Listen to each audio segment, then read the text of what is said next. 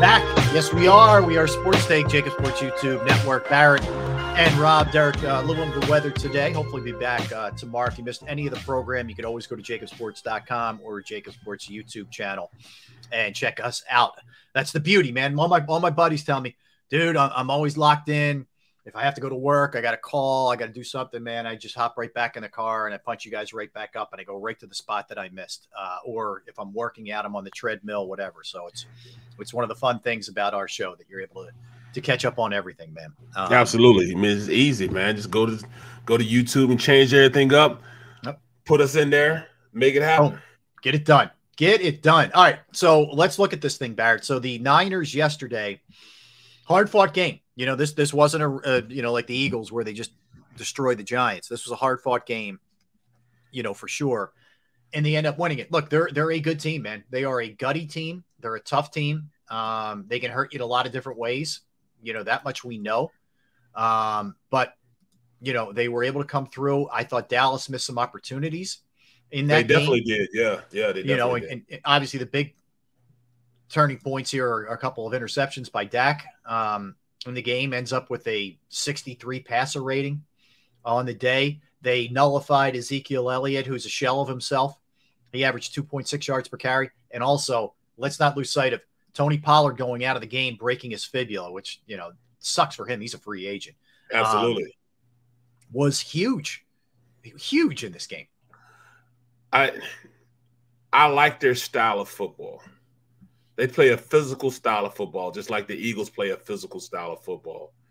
Um, this game, this game's rating is going to be off the chart, off the chain you know, because because you got two physical teams that love to run the ball, two defenses. One likes to rush the passer, the other one has one guy that really rushes the passer really good.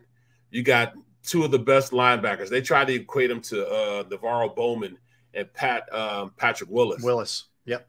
I, I I'm not gonna take it that far because those two were by far the best linebackers I'd ever watched film on that I'd, I'd, I'd ever seen. They were awesome. And um, I mean, both of those guys were unbelievable. They could do it all. They could they could cover the pass. They could run stop.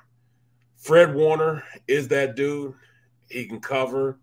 I saw him covering wide receivers yesterday, and he can. You know, he he's a play stopper, but he's not either one of those guys. But he is really good. But I mean, I, I think we have the great equalizer. You know, in fact, we have the great equalizer to their whole defensive scheme, and that's the offensive line. Mm-hmm. I mean, every guy on that offensive line that's playing got some accolades. Mm-hmm. You know what I'm saying? Mm-hmm. Uh, either Pro Bowl, All Pro, alternate, or something. We have by far the best offensive line in the past probably 10 years. And this one is one of the best, if not the best, offensive line that we've ever had, that we've ever assembled. Mm-hmm. So that's the great equalizer and all that stuff they're talking about. You know, yes, they had Javon Kinlaw. He's pretty good. Uh, uh, what's the name? Uh, Ebukam. He's he's he's um, he's pretty good. Mm-hmm. Nick Bosa is a terror. Yeah, he's and Armstead is good, but we're talking about good. Bosa's great, but we're great across the board. We're great at the tackle position, great at the center position, great at the left guard position, and it's not just me saying that, but the Pro Bowl voters are are, are saying that also. Mm-hmm. So yes, these guys are good, but I mean, player for player, we have better players um, in in strength positions. Just like you know, they they have a great player in, in Nick Bosa. Bosa is going to give some guys, you know, he's going to give some guys some headaches. But we can play around that. We can definitely play around that. We can we can game plan that, and strength for strength. He's not going to beat us like he beat the tackles from uh, from Dallas. Like like he went over that rookie. He was he was giving that rookie the blues. He mm-hmm. won't be able to do Jordan Mailata like that. Nick Bosa would never. He won't be able to do. Um, he won't be able to do Mailata like that. We know he's not going to do uh, uh, uh, Kelce. I mean uh, Lane Johnson like that. Oh, we know please. it's not going to happen. Yeah. So, you know, when you talk about matchups, R. Kelce against their Warren, Warner, to me that's the matchup right there. Mm-hmm.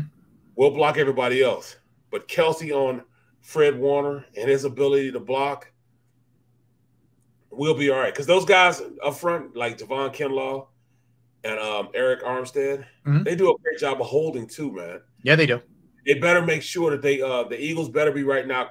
I mean, just just crying out loud about how they were getting held, how the defensive, I was defensive line were holding the. Offense. There was line. a lot of that. Yeah, there was a lot of those guys reacting that way. Yeah, that's why those guys are on at, at the tail end look so good. That's why they're running scot free all the time because their defensive line is holding. I'd be up there. I'd be screaming to the mountaintop. Look, they can't hold like this. Why do they keep? Why you keep allowing them to hold like that? Mm-hmm. I'm not making any excuses. You just make them aware of, of who's doing it. You know mm-hmm. what I'm mm-hmm. saying? Because I mean that second play of the game where where you see um you see uh Fred Warner just go through untouched. That's because the linebacker was supposed to uh the offensive line was supposed to be blocking that linebacker was held. He was he was he spun him around. Yep. So yeah, I mean, I, I, I love our chances. You know what I'm saying? I, I listen. I hear you. I hear you. Um, and and that's they de- they definitely and they have the Hufanga, who's your guy, who you've been talking about all year, is, is nasty back then. Back Beast. Then. He, is, he is nasty. That's for sure. Beast. Let's go to what they the problems they present on the other side of the ball. Um, you know, they actually Dallas did a, did a good job, I thought, keeping McCaffrey in check. He had some big catches late to kind of move the move the uh, chains, but he didn't run it particularly well. And he, was dealing with a calf too. You could see he was over there working on that calf constantly. But yep, yep, yep. Uh, you know, you got to deal with McCaffrey. You got to deal with Kittle, who you feel like it's only a matter of time. I will say this: they did a pretty good job on Deebo too. Deebo yep. didn't get loose, um, no. and and you got Aiyuk too. So it, they got they got their fair share of weapons on that side of the ball too.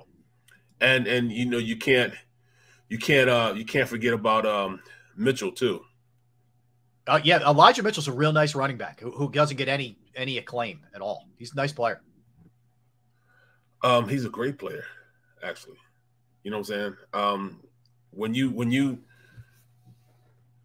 about Elijah Mitchell comes in on first, second, first or second down, and then you bring in Christian McCaffrey since he's kind of hobbled a little bit, and he plays on third down. So I like that mix. I definitely like that mix. Mm-hmm. Those guys run well in between the tackles, and you know, you got to you got to stop Christian McCaffrey before he gets started. Yeah, Mitchell's just taking it downhill. He's a tough, hard nosed runner. He's very explosive going up the middle. I think we can take advantage of that right side of the offensive line. You got a you got a um, rookie right guard in, in Burford, mm-hmm. and then you have uh, my guy McGlinchey, McGlinchey, McGlinchey. At, at, at, at right tackle. Mm-hmm. That's where that's where all the heat's going to be coming from. Yeah. That's why we must get up on them early. If we can get up on them early, it could be a long day mm-hmm. for for Brock Purdy.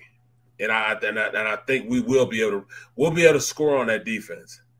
Can that offense counter that? You know what I'm saying? Like they they haven't gone against our, our the likes of our DBs before. Yes, they had like they play against the Charge and they got a great safety cornerback. They have one cornerback that's pretty good, but mm-hmm. you know, all things being equal, we got the best secondary, well, the best cornerbacks in the league. Yeah. You know, right now. Yeah. Yeah, no question. Yeah, and, and really that's the million dollar question. Like we we keep waiting for Purdy to get overwhelmed, to look like the moment's too big for him, to start making massive mistakes. To his credit, he doesn't turn the ball over.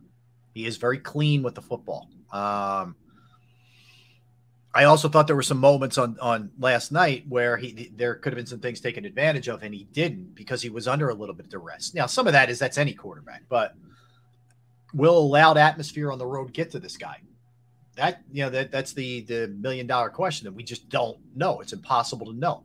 Right, and, right. And I'll, it, let me say this too, Barrett. They're you know Shanahan's a really good coach, and DeMeco Ryans on the on the other side of the ball is a phenomenal coordinator. I think he's going to be I think he's going to be a head coach before all said and done this season. I mean, he's going to be coaching somewhere next year. It's not going to be with the Niners. He'll be a head coach.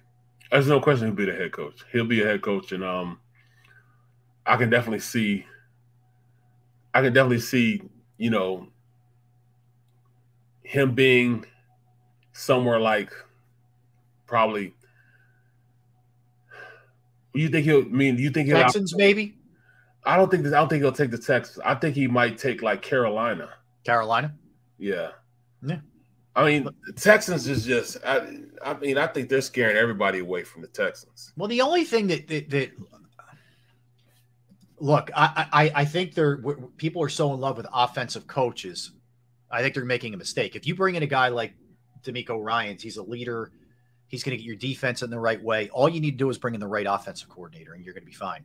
I, I just think there's so owners are so in love with offense that I, I hope that doesn't you know, it doesn't hurt the guy. Um, and of course, he was a really good player here for the Eagles, and he was a class act. I, you know, I, I like the guy a lot. I would see him lose this week, but I really like the guy a lot. Right, right, right. Um, I think he ends up. I, I think someone's going to. Someone would be really would really make a mistake not to grab this guy. I will tell well, you. Well, I mean, I, I I don't see any places right now besides somewhere like, um, maybe Carolina. Yeah. Um do you bring in a new coach, a, a young coach like that, to, or you to, just keep Steve Wilks? Yeah, yeah, that's the only thing. I mean, Wilks did a hell of a job, a hell of a job considering the fact everything that's going on. Right. The, I mean, the Texans, man, I,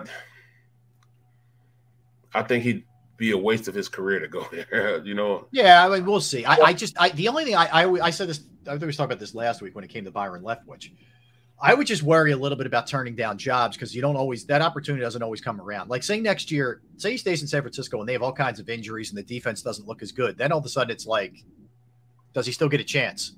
Right. So it's a, I get what you're saying too. You don't want to be stepping into somewhere where you're destined to fail either. You know, you're doomed. And I, I wouldn't want to work for that Texans owner. I can tell you that much. Uh, you know. What about the Cardinals? He's another bad owner. But yeah, within I mean, the division. You better hope you get Kyler Murray straightened out. If, if you feel like you can, then it's worth it's definitely worth that gamble there. I think. Right. Um, but that'll be interesting anyway. But yeah, I mean, there's a lot of things to look at here. So the 49ers, uh, amazing, amazing what they've done. They've won 12 straight. Their last loss was October 23rd. They're um, Purdy 7 and 0 as a starter. Mm-hmm. 49ers have made 17 NFC championship game appearances. They're 7 and 10. I was a little bit surprised by that. I thought they'd have a better record than that. Uh, they're 2 and 5 on the road in NFC title games. So uh, that bodes well for the Eagles. Eagles are 3 and 4 overall in NFC championship games. Of course, they won the last time they played an NFC championship game back in the 17 season uh, when they went on to beat the Vikings to go to the Super Bowl. That game we're talking about, the 38 to 7 game.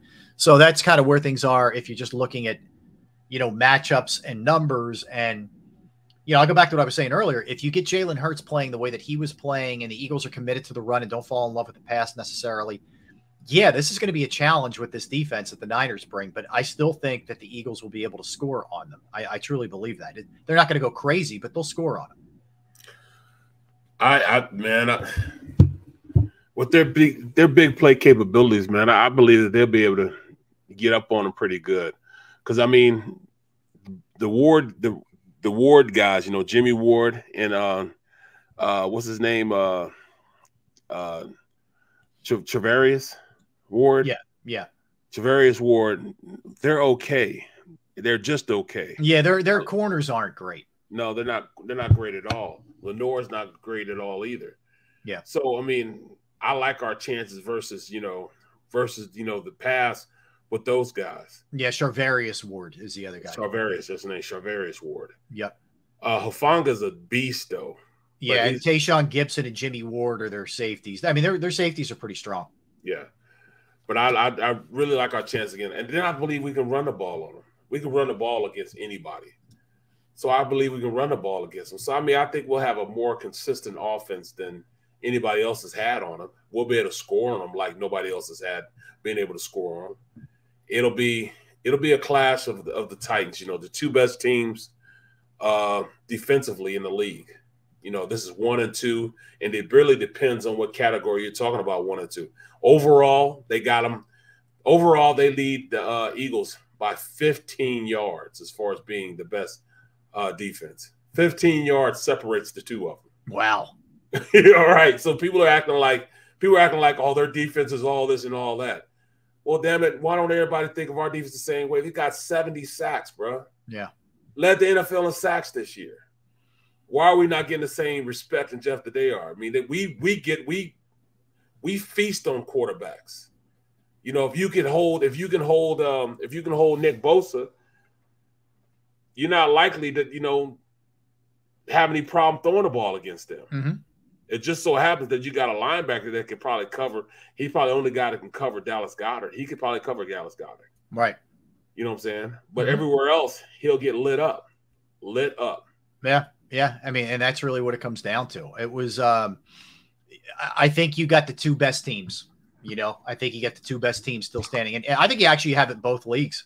Yep. Yep. You Yep. know, it, it really played out where the heavyweights are, are going against each other here. This is not, you know, last year, I don't think many of us expected the Rams to do what they did and, you know, kind of come out of nowhere. And you felt like last year the Bengals were kind of coming out of nowhere.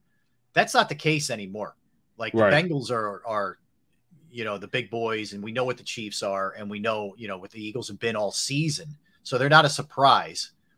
You know, Barrett getting that, just getting to the playoffs last year, even though they got they got beat up pretty good in, in Tampa. It's such a big step.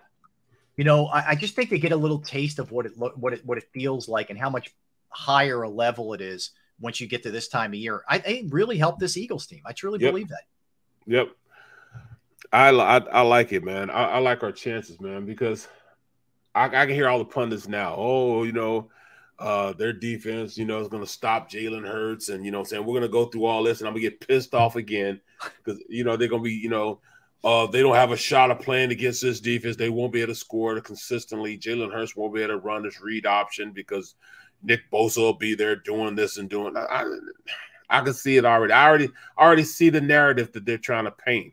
Yeah. And then, you know, and I haven't looked at it yet. You know, the game, they just, you know, they just, we just figured out who we're going to play.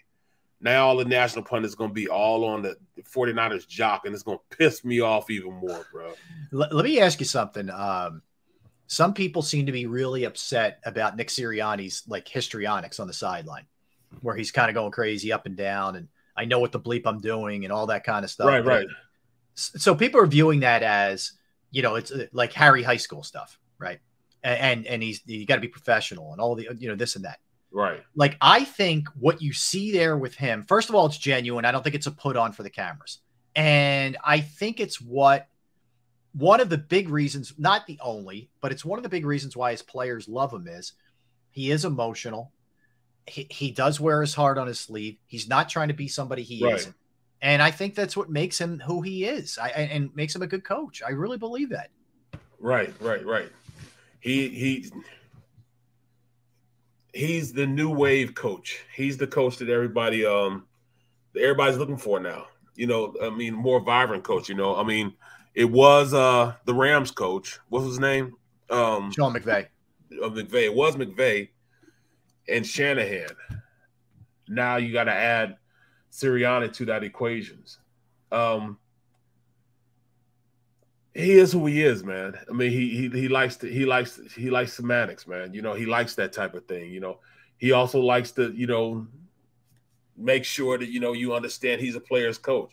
He's going to wear something that you know his, one of his players um, is endorsing or or has. You know, he's going to wear a clothing line his players have. He he's going to do all that stuff, man, because he understands what his guys expect from him, and he wants to let them know, hey, I'm I'm I'm right here with you guys. You know, you know, this, let's just keep it rocking and rolling. So you know, you're gonna get you're gonna get that type of you're gonna get that type of uh, fun fare from him. You know Yeah. what I mean? And but you also gonna get he's also gonna cuss you out. He also Yeah, there's accountability. He's Yeah. not just rah rah kissing your your rear end guy. Exactly. Get in on you. you know, he he he gets pissed off. And once he gets pissed off, you see how he be cussing those guys out. Yeah, he's not afraid to get on it, man. And and that's the thing. I, I think he keeps it real with them, and they know that. And there is going to be accountability for your actions. And, You and have to. You know, I, I just think that they've been like the whole season when we were sort of waiting for a, a, a letdown from them. We didn't really see it. You know, I, I mean, it, it seems like he's got them prepared and ready to go. He also hired a really good staff. That's know- that's probably the most underrated thing. Yeah. His staff that he picked. Yes, you have um yes you have guys that are carryovers. You know, you you got Stoutland and Stoutland. some of those guys. yeah. Yeah. But but I, I think he hit it on the head with the coaching staff he brought in, with the exception of I'm, I'm still not bottom sold on on Mike Michael Clay. Still yeah special teams. Yeah, I, th- that could be the one spot you might see a change. Although I will I will give them this at least. They've been better. They definitely been better from what they were. Now, how much better? Mm, better. Well, I mean, I'm not holding my breath when we catch punts. He's shown the ability to catch punts. I don't worry about him fumbling or anything else. And True. Knock on wood. Uh, yeah, Co- Covey secures the ball. I, Yeah. Whatever. I mean, there's not much of a threat there, but he secures the ball at least. He definitely does that. He definitely does that. So, and I can deal with that. I can Yeah. live with that. You know what I'm saying? Yeah, yeah. Just don't turn it over at this point. Uh, We're we're at a point in the season now where I don't. I'm, I'm like I'm with you. I don't expect any kind of big returns. Just let the offense take it over where you where you fair catch. That's all I want. And, and, and trying to get yourself killed, like like it felt like every single time you caught the ball earlier in the year. Um, you, bro, how how blessed are we now to not have Jalen Reagor back there? Well, I you know what? I think Minnesota saw up close and personal just what that is. You know, uh, he's not long for the league. Well, He's not, he's not going to be around long. they brought him in. He may not see a second contract. Right. They brought him in, and what has he done? I mean, what he doesn't even have over 100 yards, right? No, he had he had a terrible and his he fumbled four or five punts. Now some of them they recovered, but he he, he gave it up like four or five different times, and that was his primary job. He wasn't really even used as a receiver. Wow. You know, that's the thing. He he was he was barely used. Uh, like his numbers, I'm pulling them up right now as we speak.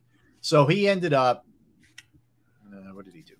for this season? Uh, they're terrible. I'm having a problem with my computer right now. He's just, just terrible. Hold on, let me look it up real fast. It was I got it. I got it. Uh, of course, it freezes up just that second. So, all right, Jalen Reagor, I got it. So, 13, uh, eight receptions, 104 yards, and a touchdown. Four fumbles, uh, returning punts. Oh, that wasn't a game. No, no, that wasn't a game. It wasn't a game. Yeah, so I, I will see. I will see what ends up happening there. They obviously need to upgrade their punt. The Eagles do their punt return, um, and and I don't I, I don't mind Boston Scott returning kicks. Actually, I'm I'm I don't either. I'm fine. I, I don't, I don't dislike that at all. Yeah. Wow, you're right, man. He had 104 yards. You know, he played his entire season. He had one touchdown. I know. He only had five first downs. Yeah, and he just. Do you remember in their comeback game? Uh, that that not the not the crazy comeback game during the regular season. Uh, yeah, a, he had a great punt return. It was against the Colts. Yeah, he had a great punt return, but he had a play later where he stops on a route, and Mhm. literally, had he kept running, it would have been a catch. He stops on the route, and it, it's an interception. Yeah, And and Kirk Cousins is like, dude, like this is high school stuff. You know, what are you doing? Stop! And even the announcers were like, I, I don't know what to tell you with this. right, So, right, right. Anyway, Well, I, bro, how about the announcers this weekend? Romo, what the hell was that? Romo's unlistenable. I, I got to tell you, man. I know people thought it was cute. What happened? calling out the plays and all that. I, I think he's terrible. He's he's diarrhea of the mouth. He never stops. He never stops talking. Bro, he said, "Oh, this." He said, "This is a perfect path." Besides being wide right, I'm like, Yeah. By by sheer definition, that means it's not a perfect pass. what are you doing? I at some, sometimes I got to wonder if Nantz is like, if if we had a camera on Nantz, he would just be like, "Are you serious, man? Did you just say that?" Oh my he God. Said he, he needs. He, he was trying to call. Uh, he was kind of call him a Superman or something. I'm like, what game are you watching? I mean, they're I- getting their ass beat right now, and you're acting like he's playing. I if, if you'd have just listened to the broadcast, you would have thought that the the Bills were were killing him. No, you're right. He kept he kept up like Josh Allen has not been at his best really this whole year, but especially lately. Right. Don't give me the Superman stuff now. If you want to go right. Superman, it was the other guy. Right. You know, I, I don't know. He's got he's got it. He loves Josh Allen. He loves him some Josh Allen. I can Loves tell you him. that Loves uh, him. for sure. All right, we're going to come back. Speaking of that, we're going to dig into the AFC games. Uh, we're going to look at the Chiefs Jags from Saturday, but we're going to start with the Bengals and the Bills from yesterday as Cincinnati advances to take on the Chiefs. And the big question is, what level of injury does Patrick Mahomes have? That is a big one, man. So we'll dive into that as well. Barrett Brooks, Rob Ellis, we are Sports Take, JAKIB Sports YouTube Network. I'm going to tell you right now about Razor technology because the future of work is not remote or in person, it's a hybrid model. In facing this new reality, businesses must reimagine their workplaces to align with the preferences and needs of modern employees. Razor Technology helps businesses create a workplace that gives their teams flexibility in choosing how and where they put in their hours. Online platforms for communication and collaboration, combined with secure and adaptable mobile devices, are enabling hybrid meeting experiences that are nearly on par with in person events. So everyone can feel like they're a part of the conversation. Employees with strong social connections and their team report better well being, higher productivity, and stronger retention rates. Razor Technology helps growing organizations adapt to hybrid environments with industry leading digital tools and insightful guidance that promotes efficiency and workplace satisfaction. Learn more by calling 866 797 3282, 866 797 3282 or visit them online at razor-tech.com. That's razor-tech.com.